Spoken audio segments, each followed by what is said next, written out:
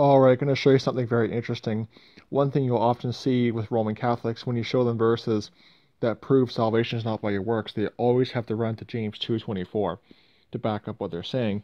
And this is because Catholics are non-dispensational. There's an email right there. Catholics are non-dispensational. They don't believe in rightly dividing the word of truth.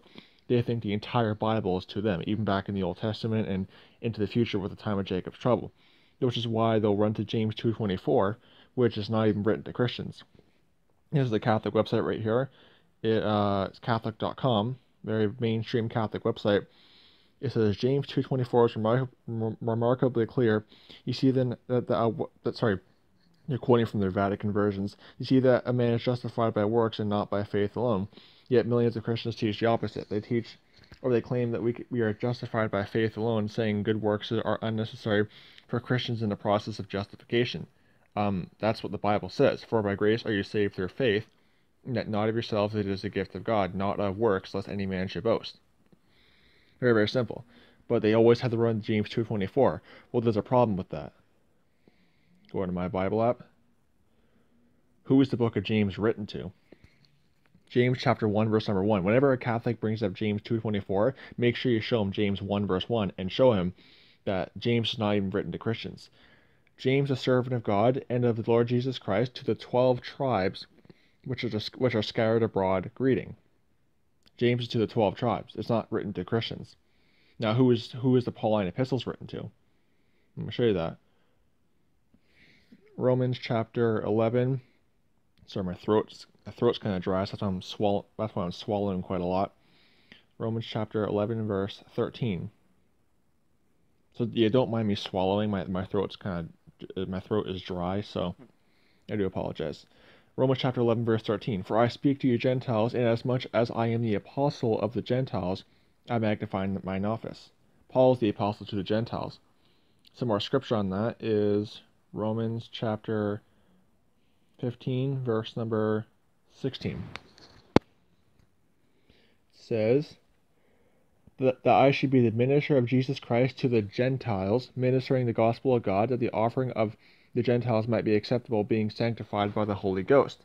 Pa- Paul is our apostle, not James. James is to the 12 tribes, Paul is to the Gentiles. Now, what does Paul say on salvation? Because the Roman Catholics, they won't, they won't, they'll avoid these verses like the plague.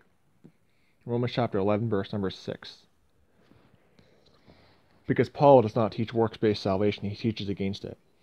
And if by grace, then it is no more of works, otherwise grace is no more grace. But if it be of works, then it is no more grace, otherwise work is no more work. You see, in this current dispensation, the church age, if, if salvation is by works, then it's no more by grace. You know, if you're a Roman Catholic, how do you answer that? You don't. You can't. Uh, Ephesians 2 8 and 9. A really good one. For by grace are you saved through faith, and that not of yourselves, it is the gift of God, not of works, like that, not of works, lest any man should boast. You're not saved by works, by grace through faith.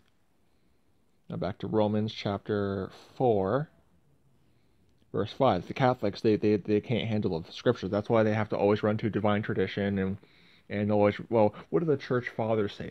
A, a common strawman argument from Roman Catholics is they'll say, well, Christians have always believed this. Okay, two problems with that. Number one, who are they calling Christians? They're referring to the Catholic Church. Second of all, um, what does the Bible say? If the Bible says something contrary to what Christians have always believed, what do you go by? You go by the Bible or, or man's tradition? You go by the Bible. So, you know, I, I've always said that if the Bible says something contrary to what quote unquote Christians have always believed, then I'm going to go by what the Bible says. And because Scripture trumps all of it, Scripture trumps what man has always believed. Um, Romans 4, verses 4 to 5. Uh, actually, I'll go on to verse 8. Now to him that worketh is the reward not reckoned of grace, but of debt. But to him that worketh not, but believeth on him that justifieth the ungodly, his faith is counted for righteousness. Even as David also describeth the blessedness of the man unto whom God imputeth righteousness without works, saying, Blessed are they whose iniquities are forgiven and whose sins are covered. Blessed is the man unto whom the Lord will not impute sin. Not by works. God imputeth righteousness without works. It's very, very simple we're not saved by our works. The Roman Catholics can't handle these verses. Uh, where is it? Romans chapter. Not Romans. Uh, I think it's sec. Actually, I think it's Second Timothy. Let me check. I don't I don't have them all off the top of my head, but I think it's Second Timothy one verse eight and nine. Here it is. Be thou be not thou therefore ashamed of the testimony of our Lord Jesus Christ, nor of me, his prisoner, but be thou partaker of the afflictions of the gospel according to the power of God, who hath saved us, and called us with a holy calling, not according to our works, but according to his purpose and grace, which was given us in, in Christ Jesus before the world began. Again, it's not according to our works. God gives us salvation. We don't work our way to heaven. Titus 3 5 not by works of righteousness which we have done, but according to his mercy he saved us by the washing of regeneration and renewing of the Holy Ghost. God saves us. It's not by our own works of righteousness. And, and there's so many verses I can go to. These are just some good ones. I think it's Philippians chapter 3, verse 9. Uh, here it is, Philippians 3 9 and having found in him not having mine own righteousness, which is of the law, but that which is of the faith of Christ, even the righteousness which is of right sorry, righteousness which is of God by faith. Again, our righteousness is, is not not we don't have our own righteousness, we have the righteousness of faith. They're very simple. Um, those are some verses I could think of off the top of my head. There are other verses too that disprove works based salvation.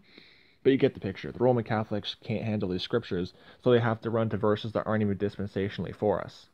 It's it's typical. And same thing with a lot of the street preachers. They'll run to verses like the street preachers. They'll run to Matthew. They'll run to Matthew 24, verse 13, which says, "That's what it says."